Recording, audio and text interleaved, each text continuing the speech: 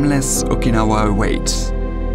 These islands, jewels spread across a deep blue sea, possessing a proud, unique, and beautiful culture created by a fascinating, often turbulent history.